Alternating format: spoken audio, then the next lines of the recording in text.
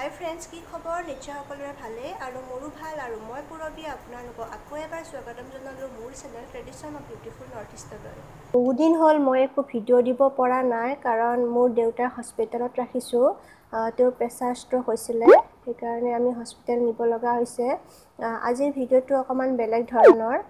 আজি মই অকণমান হস্পিটেলত হোৱা মোৰ অভিজ্ঞতাৰ বিষয়ে আপোনালোকক ক'ম। এঘাৰ বছৰ আগতে দেউতাৰ পেৰালাইচিছ হৈছিলে ষ্ট্ৰক হৈছিলে। ষ্ট্ৰক হৈ পেলাই তোৰ এটা ছাইড পেৰালাইচিছ হৈ গৈছিলে এঘাৰ বছৰ আগতে। তেনেকৈ ঘৰতে আমি ট্ৰিটমেণ্ট কৰিছিলোঁ। একমাহমান আমি আই চি ইউত ৰাখিছিলোঁ জি এন আৰ চিত একমাহ জি এন আৰ চিত থকাৰ পিছত তেওঁ অকণমান ভাল হৈ আহিছিল। তাৰপিছত আমি ঘৰলৈ আনিলোঁ। ঘৰত অনাৰ পিছত আমি ফিজিঅ'থেৰাপিষ্ট কৰিলোঁ। সেনেকৈ এবছৰমান কৰাৰ পিছত অকণমান খোজকাঢ়িব পৰা হৈছে যদিও এটা ছাইড সোঁ ছাইডটো পূৰা পেৰালাইচিছ হৈ গৈছিল। আৰু তেনেকৈ আমি ধৰি ধৰি খোজ কঢ়াইছিলোঁ বা স্মৃতিশক্তিবিলাক ঘূৰাই আনিব চেষ্টা কৰাইছিলোঁ। সেনেকৈ আমি এবছৰমান কণ্টিনিউ কৰিছিলোঁ। কৰাৰ পিছত অকণমান এনেকৈ সুস্থ হৈ আহিছিল আৰু মাজে মাজেতো পৰিছিলোঁ কিন্তু কৰাৰ পিছতো সিমান একো ডিফেক্ট হোৱা নাছিল। দুদিন এদিন অলপ গাটো বিষ কৰিছিল তাৰপিছত আকৌ ভাল হৈ যায়।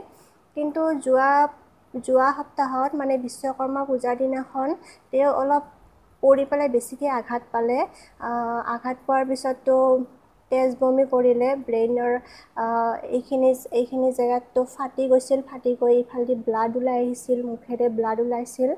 আমি ভাবিছোঁ দেউতাৰ চাগে আৰু অৱস্থা বেয়া সেইকাৰণে আমি লগালগ জি এম চিত লৈ গ'লোঁ। জি এম চিত বহুত কষ্টৰ ফলত আমি আই চি ইউৰ বেড এখন পালোঁ। সাধাৰণতে জি এম চিত আই চি ইউৰ বেড পোৱাটো সহজ নহয় বহুতে কঠিন কাৰণ তাতে পেচেণ্ট ভৰ্তি হৈ থাকে। আমি কিবাকৈ এটা ছিট পালোঁ পোৱাৰ পিছত আমি জি এম চিত তাতে ভৰ্তি কৰাই দিলোঁ। আৰু ডক্টৰৰ ৰেচপনচিবিলিটিও বহুত ভাল তেওঁলোকে বহুত ৰেচপন্স দিছে আমাক। আৰু ডক্টৰে যেতিয়া ডক্টৰে কৈছে যে তেখেতৰ ব্ৰেইনত ব্লাড জমা হৈ আছে এঘাৰ বছৰ আগতে হোৱা ষ্ট্ৰকৰ সেই ব্লাডখিনিও আছে আৰু এতিয়া যেতিয়া নতুনকৈ পৰিলে সেই তাৰে ব্লাডখিনিও জমা হৈ আছে। গতিকে আমি ব্ৰেইন অপাৰেশ্যন কৰিব লাগিব। আপোনালোকে যদি য়েছ বুলি কয় তেতিয়াহ'লে আমি ব্ৰেইন অপাৰেশ্যনৰ কাম আৰম্ভ কৰি দিম। আমিও ভগৱানক চিন্তি পেলাই আমি অঁ হ'ব বুলি কৈ দিলোঁ। তাৰপিছত দেউতাৰ এঘাৰ বছৰ আগতে জমা হৈ থকা ব্লাডখিনি ফুটা কৰি পেলাই উলিয়াই দিলে। আৰু আমাক ব্লাডখিনি দেখাইছে একদম পূৰা ক'লা ক'লা এনেকুৱা মাখা মাখি হৈ আছিল ব্লাডখিনি সেইখিনিও উলিয়াই দিছে। আৰু নতুনকৈ পৰাৰ পিছত যিখিনি ব্লাড সোমাই আছিল সেইখিনিও উলিয়াই দিছে। বহুত ব্লাড সোমাই আছিল দেউতাৰ ব্ৰেইনত সেই গোটেইখিনি পূৰা উলিয়াই দিছে। উলিয়াই দিয়াৰ পিছত এতিয়া সুস্থ হৈ উঠিছে। জি এম চিত থকাৰ পৰা মোৰ বহুতখিনি অভিজ্ঞতা হ'ল আৰু বহুত নজনা কথাও শিকিলোঁ। আৰু জি এম চিৰ কেম্পাছটোতো বহুত ডাঙৰ হয় গতিকে কেম্পাছটোৰ গোটেই চুকে কোণে মই ভালকৈ চিনি পোৱা হৈ গ'লোঁ। নানা নানা কথা জানিব পাৰিলোঁ ডক্টৰৰ লগত কেনেকৈ কি কথা পাতিব লাগে সেইখিনিও মোৰ ক'বলৈ সাহস আহি গ'ল। বা কিবা এটা নাজানিলেও ডাইৰেক্ট মই ডক্টৰক সুধিব যাব পৰা হ'লোঁ। মানে মনত ভয় ভাৱটো নোহোৱা হৈ গ'ল। তাৰপিছত দেউতাক মই খবৰ ল'ব গৈ থাকোঁ মাজে মাজে বা খুৱাইও দিওঁ। সেনেকৈ দেউতা পূৰা সুস্থ হৈ হ'বলৈ ধৰিলে। বৰ্তমান সময়ত জি এম চিৰ চিকিৎসা বহুতে ভাল আৰু এতিয়া জি এম চিখন বহুত চাফ চিকুণ হৈছে প্ৰাইভেট হস্পিটেলতকৈ জি এম চিত নিলে বেছি ভাল হয়। হয় প্ৰাইভেট হস্পিটেল মই বেয়া বুলি কোৱা নাই প্ৰাইভেট হস্পিটেলো ভাল কিন্তু তাত পইচাৰ খৰচাটো অলপ বেলি বেলেগ হয় আৰু তাত বেছি ৰোগীৰ লগত লাগি থাকিব নালাগে বা মেডিচিন আনি দি থাকিব নালাগে সেনেকৈ। প্ৰাইভেটৰ কৰ্মচাৰীবিলাকে গোটেইখিনি কাম কৰি দি থাকে। কিন্তু গভৰ্ণমেণ্টত এই এটা বেয়া মানে পেচেণ্টৰ লগত লাগি থাকিব লাগিব আৰু মেডিচিনবিলাক আনি দি থাকিব লাগিব সেইখিনিয়ে কাম থাকে। কিন্তু পইচাৰ হেৰিটো একদম কম যায় আৰু এতিয়া বহুত ভাল ভাল চিকিৎসক জি এম চিত আছে আৰু ধুনীয়াকৈ ট্ৰিটমেণ্ট কৰে। তেওঁলোকক মাতি থাকিব নালাগে তেওঁলোকে নিজৰ কামখিনি তেওঁলোকে নিজে কৰি কৰি গৈ থাকে। আমি চিকিৎসাটো দেউতাৰ চিকিৎসাটো বহুতে ভাল পাইছোঁ আৰু বহুতে ৰেচপন্স দিছে আমাক। আৰু যিয়ে সুধো কিয় তোকে ভালকৈ বুজাই দিয়ে কিবা নাজানিলেও বেয়াকৈ নকয় বহুত ভালকৈ বুজাই দিয়ে। আৰু যিসকলৰ অটল অমৃত কাৰ্ড আছে তেওঁলোকৰতো সম্পূৰ্ণ বিনামূলীয়া হয়। মোৰ দেউতাৰ অটল অমৃত কাৰ্ড নাছিল আমি তাতে বনাই লৈছোঁ। বনাই লোৱাৰ পিছত দেউতাৰ সম্পূৰ্ণ খৰচ বিনামূলীয়া হৈ গৈছে। আই চি ইউৰ এদিনৰ ভাড়া পোন্ধৰশকৈ আছিল আমি সেইটো ফ্ৰী পাই গৈছোঁ। ব্লাড পৰীক্ষা তাৰপিছত মেডিচিনৰ এইবিলাক খৰচ আমি গোটেইখিনি ফ্ৰী পাই গৈছোঁ। আমি এতিয়া পইচা ভৰিব লগা হোৱা নাই। অঁ অৱশ্যে এইটো হয় অটল অমৃতৰ দ্বাৰা যদি কাম কৰিব বিচাৰোঁ অকণমান কষ্ট হ'ব। কাৰণ ফাৰ্মাচীৰ চাইন লাগিব আৰু মানে অটল অমৃত কাউণ্টাৰৰ চাইন লাগিব অটল অমৃতৰ ফাৰ্মাচীৰ তাৰে চাইন লাগিব। সেনেকৈ চাইন মৰাৰ পিছতহে আমি মেডিচিনখিনি পাওঁ। কিন্তু সেইখিনি একো কষ্ট বুলি ভবা নাই কাৰণ বেমাৰ বুলি ক'লেতো বহুত পইচা গুচি যায়। এইখিনি পইচা বচাব পাৰিলেও বহুতখিনি হয়। এতিয়া আমাৰ একাউণ্টছত দুই লাখ টকালৈকে জমা হৈছে।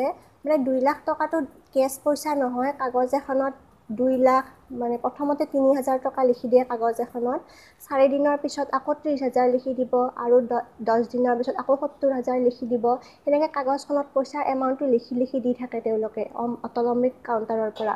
আৰু সেই সেই কাগজখনেই আমাৰ পইচা সেই কাগজখন দেখাই দিলে তাৰে পৰাই পইচাটো যিটো মেডিচিন লওঁ তাৰে পৰাই মেডিচিনটোৰ পইচাটো মাইনাছ হৈ যায়। যদি আজি অটল অমৃত কাউণ্টাৰে যদি মোক তিনি হাজাৰ টকা দিছে যদি মই মেডিচিন আনিব যাওঁ সেই তিনি হাজাৰ টকাটোৰ পৰা ঔষধটোৰ যিমান দাম সেইটো মাইনাছ কৰি দিব। মাইনাছ কৰি দিলে ধৰি লওক ঔষধটোৰ দাম এহেজাৰ টকা অটল অমৃতে মোক তিনি হাজাৰ টকা দিছে সেই মেডিচিনটোৰ এক হাজাৰ টকাটো মাইনাছ হৈ পেলাই দুই হাজাৰ টকা হৈ থাকিব। কিন্তু তিনিদিন পিছত আকৌ মই সেই দুই হাজাৰ টকাটো আকৌ বঢ়াই আনিব পাৰিম দুই লাখ টকা নোহোৱালৈকে।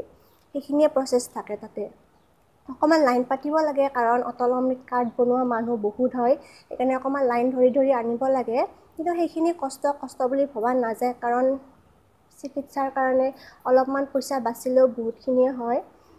যি কি নহওক আমি সেইটো ফ্ৰী পাইছোঁ আৰু কেতিয়াবা আমি অটল অমৃতৰ পৰাও আনিছোঁ আৰু যেতিয়া আৰ্জেণ্ট মেডিচিন লগা হৈছে তেতিয়া আমি অটল অমৃতত যোৱা নাই তেতিয়া আমি ডাইৰেক্ট এই ফাৰ্মাচীত গৈ পইচা পে'মেণ্ট কৰি পেলাই লৈ আহিছোঁ। আমি চিকিৎসাটো বহুত ভালেই পাইছোঁ তাতে এইটো জি এম চিত আগতে হয়তো ভাল ভাল নাছিল আছিলে নাছিল নাজানো সিমান আমি জি এম চিত গৈ পোৱা নাছিলোঁ। কিন্তু দেউতাক থোৱাৰ পৰা আমাৰ অভিজ্ঞতাটো এয়ে হ'ল যে এতিয়া বহুতখিনিয়ে উন্নত হৈছে আৰু যিটো আমাৰ দেউতাক নতুন বিল্ডিংটোত ৰাখিছে যিটো কৰোণাৰ সময়ত বনাইছিল সেই বিল্ডিংটোতো একদমেই চাফ চিকুণ একদম মানে ধুনীয়া আৰু বিল্ডিংটো যে সেইটো ক'বই নোৱাৰি সেইটো যে গভমেণ্ট হয় পূৰা প্ৰাইভেটৰ নিচিনাকৈ ৰাখিছে। আৰু মানুহবিলাকেও অলপ চিনচিয়াৰ হ'ব লাগিব যাতে তামোলৰ পিক নেপেলায় বা বটল চটল নেপেলায় মানুহবিলাকেও অলপ ভালকৈ ৰাখিব লাগিব। আপোনালোকে যদি অটল অমৃত কাৰ্ডখন এতিয়ালৈকে বনাই লোৱা নাই তেতিয়াহ'লে আপোনালোকে অতি সোনকালে বনাই লওক। কাৰণ মানুহৰ কেতিয়া কি হয় কোনেও নাজানে। আৰু অটল অমৃত কাৰ্ডখন থাকিলে বহুতো সকাহ পাব পাৰি পইচাৰ পৰা। নিজৰ গাঁঠিৰ ধন ভাঙিব লগা নহয়। আজিৰ ভিডিঅ'টো বেছি দীঘলীয়া নহ'ল কাৰণ মই এতিয়া মেডিকেল যাম দেউতাক ৰখিবৰ কাৰণে। আৰু মোৰো গা ইমান ভাল নহয় যিহেতু ভাইৰেল জ্বৰ এটা আহি আছে আৰু মই মেডিকেলত এইকেইদিন কণ্টিনিউ গৈ আছোঁ কাৰণে মোৰ তাতো জ্বৰটো আহি গ'ল। সেইকাৰণে মই সুস্থ হোৱা নাই এতিয়া। তথাপিও মই এবাৰ যাম কিন্তু দেউতাৰ ওচৰত মই একেবাৰে নাযাওঁ কাৰণ যিহেতু মোৰ ভাইৰেল জ্বৰ হৈ আছে আৰু তেওঁ পেচেণ্ট হয় তেওঁৰ ওচৰত গ'লে পটককৈ লাগি যাব পাৰে। সেইকাৰণে মই তেওঁৰ ওচৰত নাযাওঁ কিন্তু মই দূৰত থাকিম। তথাপিও মই এবাৰ চাই আহোঁ আৰু যিহেতু অটল অমৃতৰ কিছুমান কাম থাকে সেইখিনিও মই কৰিম। আৰু কাৰণ পইচাটো বঢ়াই থাকিব লাগে তিনিদিন চাৰিদিনৰ মূৰে মূৰে বিছ হাজাৰ ত্ৰিছ হাজাৰ সেনেকৈ তেওঁলোকে বনাই দিব বঢ়াই থাকে। কেৱল জাষ্ট আমি কাগজখন নি পেলাই জমা দিব লাগে। সেইখিনি কাম কৰোঁগৈ এতিয়া। আৰু আৰু কি কি হয় ভিডিঅ'টোত মই আপোনালোকক ক'বলৈ চেষ্টা কৰিম আৰু মই নজনা কথা নজনা অভি নোহোৱা নজনা অভিজ্ঞতাবোৰ মই আপোনালোকক ক'বলৈ শ্বেয়াৰ কৰিম। গতিকে আজিৰ ভিডিঅ'টো এইখিনিয়ে আছিলে। ভিডিঅ'টো চাই যদি অকণমান হ'লেও কিবা জানিব পাৰিলে লাইক কৰিব। আজিলৈ এইখিনিয়ে। ধন্যবাদ।